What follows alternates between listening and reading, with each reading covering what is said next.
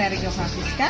Kali ini saya bawain koleksi saya model blazer ya Dengan ada celana, caranya model uh, model lebar, model kulot tapi nggak lebar banget. Kemudian ini saya pakai batik dari batik Jogja, batik motif lawasan ya. Dalamnya terserah mau boleh kemeja, mau kaos seperti saya pakai gini itu Jadi outfit ini cocok banget nih buat kantor. Terus untuk acara semi-semi formal itu juga oke okay lah ya. So, untuk melihat update uh, Okay, click add as well.